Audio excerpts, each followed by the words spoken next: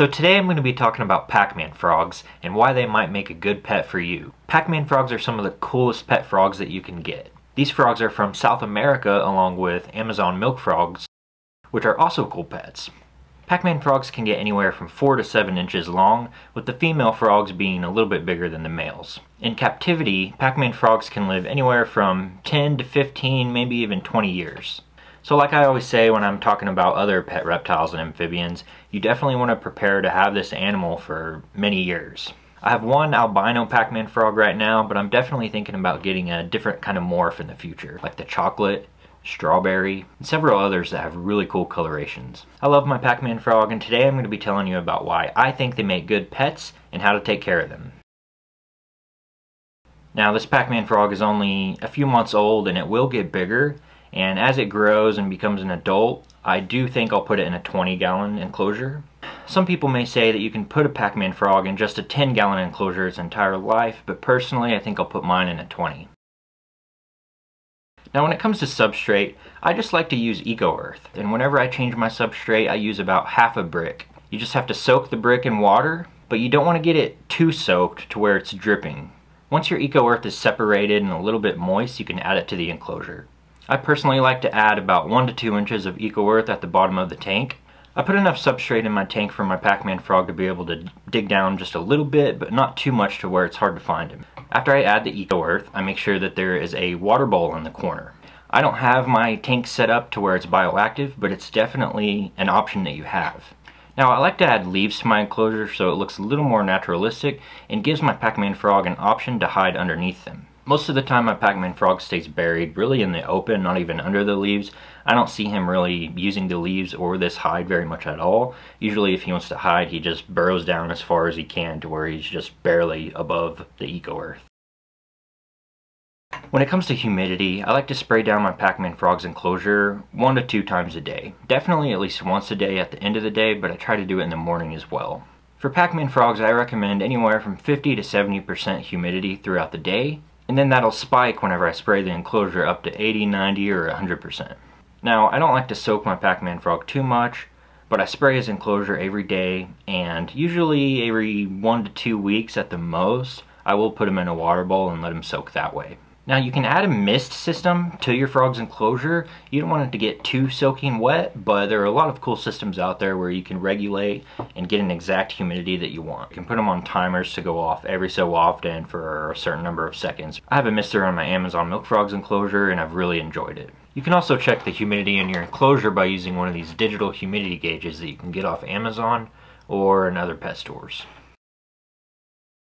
When it comes to heat, you don't want to get too crazy with it. Just like with any other frog, you don't want to give it too much heat to the point where it dries out and starts having health issues. What I like to do for my Pac-Man frog is add a tiny little ceramic heat emitter. Nothing that gets the enclosure or the hot spot that you're looking for any warmer than 82 to 83 degrees. You can check the temperature in your enclosure with one of these temperature guns. The temperature guns you can get at Walmart, Amazon, or really just about any hardware store and they're pretty cheap. You can get these for about $20. You want to check your enclosure and your setup and make sure all of the temperatures and everything are just right before you actually add your frog to the enclosure.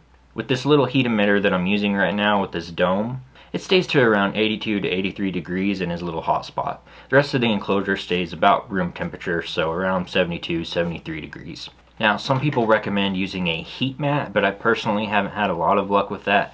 I've added a heat mat to my enclosure just in case, and I do have a thermostat hooked up with a probe to make sure that heat mat doesn't get too hot.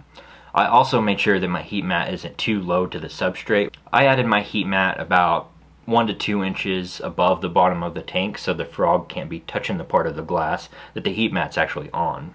Just remember whatever heat bulb or heat emitter or heat mat you choose to use, just make sure you test it beforehand and make sure it doesn't get above about 82, 83 degrees so that your frog doesn't get too warm and dry out. Now, since these frogs do live on the forest floors, they obviously aren't midday baskers and they don't need a crazy daytime bulb or a really strong halogen or even UVB really. When it comes to lighting, the only light you really need is just the ambient light that comes through your house windows. You can add a weak UVB light if you want to, and I highly recommend the Arcadia Shade Dwellers. You can put UVB in your enclosure if you want, but the Pac-Man frog doesn't have to have it in order to survive. You can add some plants if you're doing a bioactive enclosure, or I guess if you're not, but I would recommend adding an LED light. When it comes to feeding, this is where it can get a little bit weird sometimes. So I got my Pac-Man frog from a big pet store and they had my Pac-Man frog on crickets in the pet store.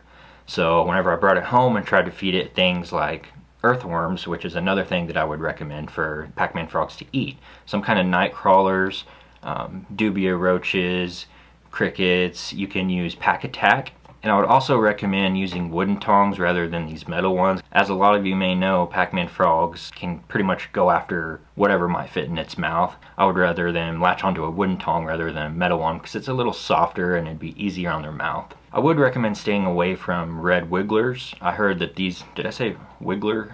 Wriggler. I would stay away from red wrigglers.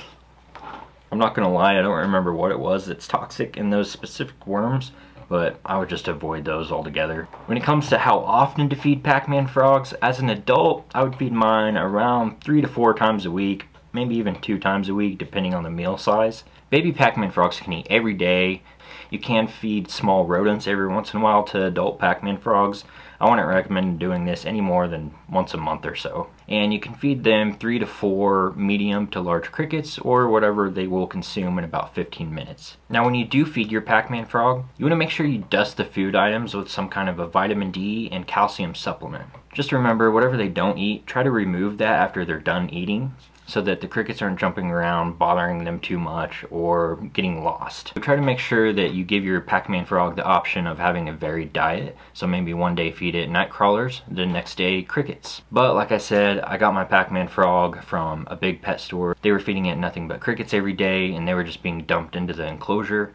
So that's what it responded to whenever I got him. I've been trying to tong feed him either night crawlers, dubia roaches, or maybe even mealworms. I would just recommend if you're struggling to tong feed your Pac-Man frog, just keep trying. You don't want to stress them out too much, but maybe try to rub the food item against their lips a little bit. If all else fails, I usually have luck throwing in a few crickets and then watching him hunt. My Pac-Man frog, it depends on the day, but sometimes he'll actually jump out of his little hole and attack the crickets or the worms, whatever I'm feeding him. And then other days he'll just wait for them to crawl by or he'll wait for me to bring him something with the tongs.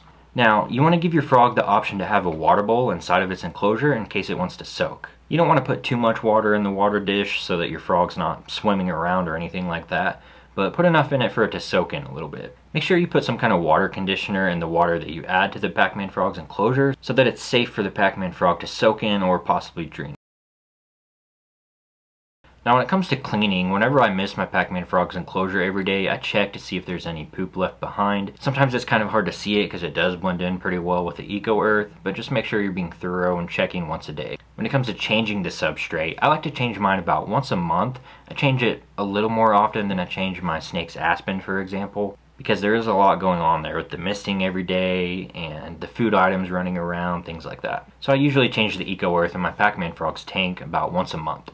It's not a bad idea when you do change the substrate to spray it down with some water or a safe cleaner that you can use with reptiles. Scrub it a little bit, give it a good clean, and then add the new substrate. In conclusion, I would say Pac-Man frogs are definitely one of the coolest pet frogs you can get. I've loved having my Pac-Man frog as a pet. You might say that they're a little bit boring at times since they really don't do a whole lot, but that's kind of what's cute about them. Pac-Man frogs come in several different morphs and there are some really cool colorations with these frogs. Whatever you do, just make sure you do plenty of research before getting a Pac-Man frog. So let me know what you think in the comments. Do you think Pac-Man frogs are a good pet if you've had experience with them in the past? So thank you guys for watching and I'll see you in the next video.